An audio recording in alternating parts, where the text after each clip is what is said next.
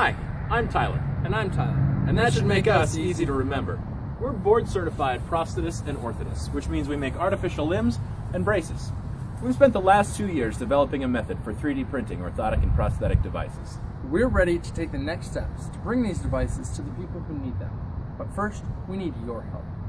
Here's some background on what we're talking about. In school and in our residencies, we were taught the traditional method for treating patients and fabricating custom orthotic and prosthetic devices. This method begins with taking a cast of the patient's anatomy, filling that cast with plaster to form a mold, and modifying that plaster by shaving away or adding plaster to obtain the desired shape. Then, plastic is heated up and vacuum formed to the outside of the mold. The desired shape is cut out, ground, and buffed into its final form. The finished device is fit to a patient by a certified orthotist or prosthetist. Like us. There's a lot of waste in this method. Aside from the time wasted waiting for the plaster to set up, waiting for the plastic to heat up,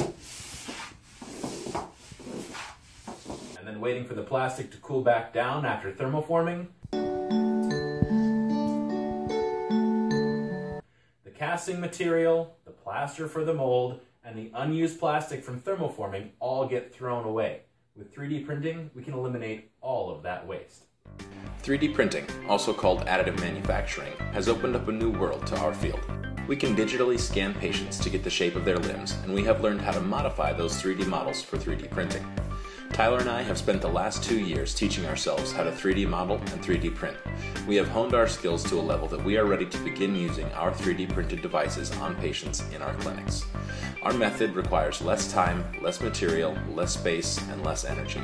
When we print a device, the shape is accurate to within microns versus an unknown amount of error from eyeballing it when we modify by hand, which can lead to a poorly fitting device. We're excited to see things like the Enable Hand for upper limb amputees, but remember that only 5% of amputees are upper limb amputees. The majority of amputees are still not able to reap the benefits of this wonderful new technology, and we want to bring it to them. We have faith that our ability to 3D print prosthetic and orthotic devices will revolutionize this field. And now we're asking you to have faith in us too. We've printed over 50 sample devices during the course of this project. These are anatomically accurate, custom made from scans of patients' bodies, and they are structurally sound. They'd be ready to wear, except they're just too small because we don't have access to a big enough printer. We have the files ready to print, and we have the patients who can benefit from these devices the first day we have a printer.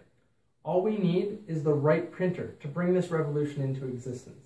And that's why we're asking you to help us reach our goal of $9,000 so that we can buy that printer.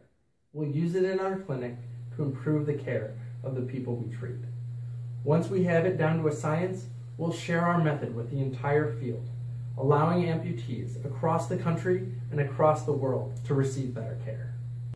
To say thank you, everyone who donates will receive a picture of our first 3D printed prosthesis given to a patient. Anyone who donates over $50 will receive a miniature 3D printed prosthesis keychain. The first 10 people to donate over $100, and everyone who donates over $200 will receive a custom 3D printed face mask. I'm not wearing hockey pads.